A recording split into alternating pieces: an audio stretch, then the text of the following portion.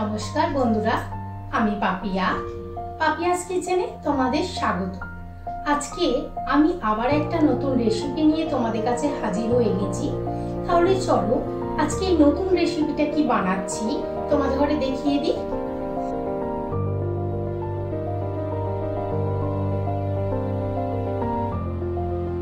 আজকে আমি তোমাদের গ্যাসের ওভেনে ইস্ট ছাড়া বেবি বাটার নান বানিয়ে দেখাবো। তাহলে চলো এই নরম তুলতুলে বেবি বাটার নানটা কেমনভাবে বানাচ্ছি? তোমাদের ঘরে দেখিয়ে দিই।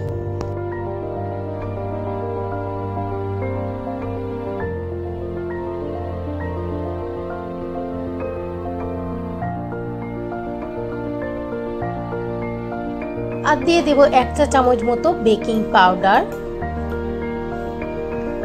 এবার আমি শুকনো উপকরণগুলো একটু মিশিয়ে নিচ্ছি।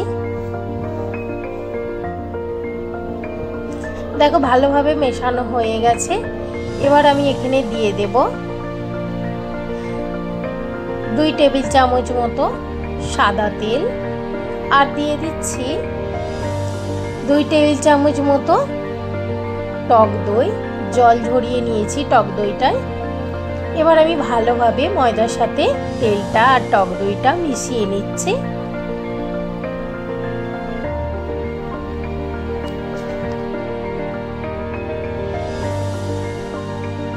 দেখো ভালোভাবে কিন্তু মেশানো হয়ে গেছে। এবার আমি এখানে দিয়ে দিচ্ছি অল্প অল্প পরিমাণে দুধ।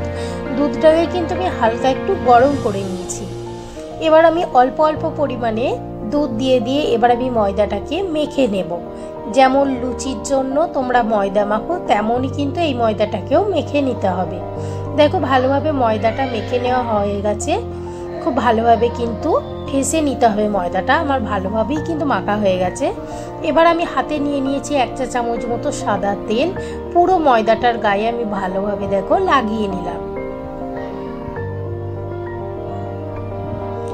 ভালোভাবে লাগানো হয়ে গেছে। এবার আমি একটা বাটি দিয়ে ঢাকা দিয়ে এক ঘণ্টার জন্য রেস্টে রেখে দেব ময়দাটা। চেষ্টা করবে একটা গরম জায়গায় রেখে দেওয়ার। দেখো, এক ঘণ্টা পরে আমি এবার বাটি থেকে বাটিটা তুলে নিলাম। দেখো, কতটা ফুলে উঠেছে ময়দাটা। তারপরে আমি আরও ভালোভাবে দুই মিনিট মতো ময়দাটাকে একটু মেখে নিচ্ছি।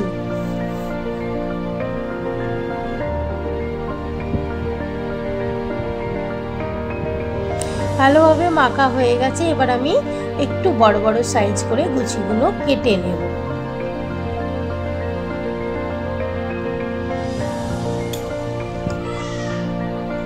দেখো এখানে কিন্তু ছয়টা থেকে সাতখানা মতো লুচি হবে।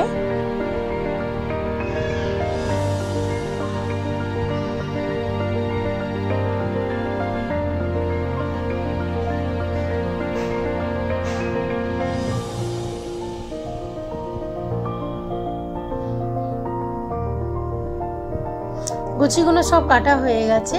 এবার আমি এখানে বেলুন চাকতি নিয়েছি। বেলুন চাকতিতে তোমরা চাইলে কিন্তু সামান্য পরিমাণে একটু তেল দিয়েও বেলতে পারো, তাহলে কিন্তু বেলুন চাকতিতে লেগে যাবে না। আমি তেল দিইনি, অসুবিধা হচ্ছে না, আমি আস্তে আস্তে বেলে নিচ্ছি। দেখো, একটা গুছি নিয়ে নিয়েছি, এবার আমি আস্তে আস্তে একটু গোল করে বেলে নেব।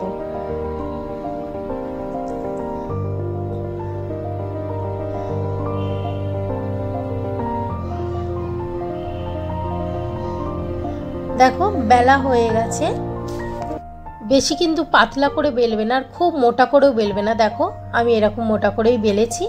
এবার আমি হাতে নিয়ে নিলাম নানটাকে আর উল্টো দিকের নান পরোটার উল্টো দিকটায় আমি এবার হাতে করে একটু জল লাগিয়ে নিয়েছি। জল লাগিয়ে নেওয়ার পরে দেখো, আমি এখানে একটা তাওয়া বসিয়ে দিয়েছি। তাওয়াটাকে হাই ফ্লেমে রেখে ভালোভাবে গরম করে নিয়েছি। এবার আমি নানটাকে দিয়ে দিলাম।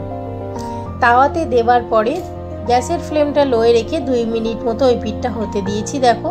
হয়ে গেছে ওই পিঠটা। এবার দেখো, একটু একটু কিন্তু ফুলে উঠেছে।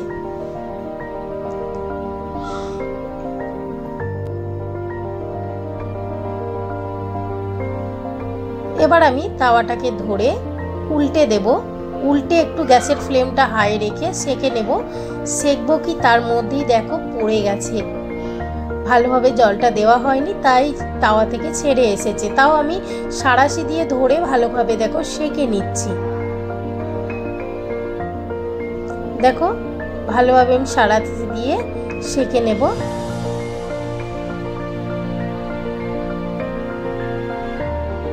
এপিট ওপিট ভালোভাবে দেখো, আমি সেঁকে নিলাম। এবার আবার আমি তাওয়াতে দিয়ে দিলাম। তাওয়ায় দেওয়ার পরে দেখো, এখানে আমি এই নানটার উপরে দিয়ে দেব বাটার। কিছুটা বাটার আমি ব্রাশ করে দেব।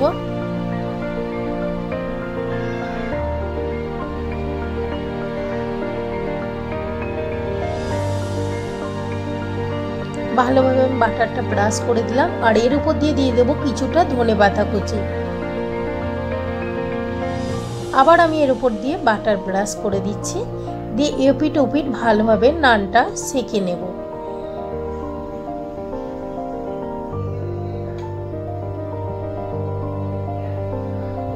দেখো নান পরোটা আমার পুরো রেডি হয়ে গেছে। এই একইভাবে আমি এবার সবগুলো করে নিয়ে তোমাদের ঘরে দেখাচ্ছি।